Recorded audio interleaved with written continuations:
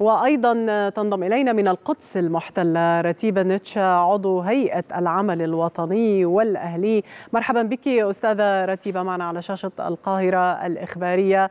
يعني يبدو أن المسارات مترابطة والأحداث مترابطة عندما نتحدث عن ذكرى حرق المسجد الأقصى ازدياد وتصعيد لهذه العمليات الفدائية عمليات المقاومة. وبالمقابل ما يفعله أيضا المحتل الإسرائيلي فيما يتعلق بعمليات استفزاز ميدانية وعمليات استفزاز اقتصادية بالمصادقة على خطة خمسية إذا بالمشهد الفلسطيني برمته وبشكل عام هل سيكون هنالك تدخل لنوع من التهدئة أم أننا ذاهبون لتصعيد أكثر ربما مع هذه الأحداث المترابطة؟ يعني محاولات التهدئة وثني الحكومة الإسرائيلية عن ممارساتها لم تتوقف سواء كانت حتى في القمم التي عقدت في العقبة وشرم الشيخ أو غيرها من محاولات التواصل الأمريكي ومن الدول المنطقة المختلفة مع إسرائيل. كلها باتت باءت بالفشل، هذه الحكومة مصرة على أن تتحول أن تجعل الصهيونية الدينية في مركز المشروع الصهيوني مصرة على ممارسة تغيير جذري على الأرض لا يعترف بحل الدولتين.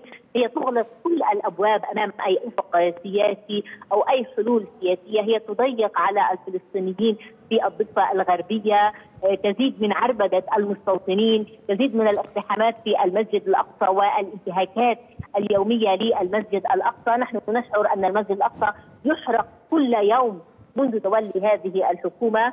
كما أحرق قبل 54 عاما. نعم. يتبنى نفس الفكر القائم على تغيير المشهد العام فلسطينيا وبالتالي هذه الحكومة لا تسعى إلى التهدئة وقد أفشلت كل محاولات التهدئة التي حاولت جميع الأطراف سواء على المستوى الإقليمي أو الدولي ممارستها من أجل ثنيها عن عن هذه التصرفات الاستفزازية ومحاولاتها فرض وقائع على الأرض تجعل من حل الدولتين منتهي وميت فعليا. وبالتالي الحل الفلسطيني هو الالتفاف حول المقاومة أكثر وأكثر وجعل المقاومة في صلب الحاضنة الشعبية الفلسطينية وهذا أدى إلى تزايد العمليات ونوعيتها في مختلف الضفة الغربية. وعملية اليوم هي ترجمة فعلية لهذا الالتفاف الشعبي والإيمان في حل المقاومة لإجبار الاحتلال عن الكف.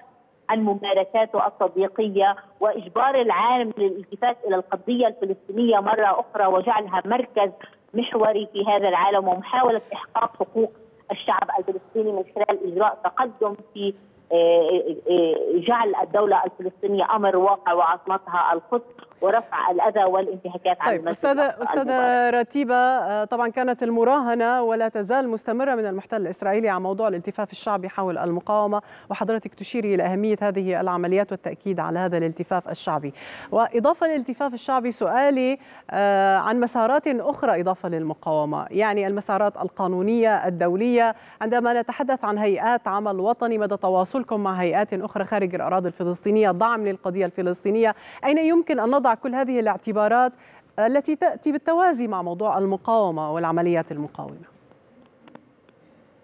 يعني خليني أشكي أن قمة العالمين الثلاثية الأخيرة اللي كانت بين فلسطين ومصر والأردن هي محاولة أخرى لجعل القضية الفلسطينية في محور الاهتمام العالمي وفي دفع المسار السلمي مرة أخرى وفي دفع حتى المسار القانوني والقضائي على مستوى محكمة الجنايات الدولية ومحكمة العدل الدولية. هنالك جهود خلينا نحكي إقليمية في محاولة فضح الانتهاكات الإسرائيلية ووضع إسرائيل تحت الضغط المباشر لتحمل مسؤولياتها اتجاه كل هذه الانتهاكات التي تمارسها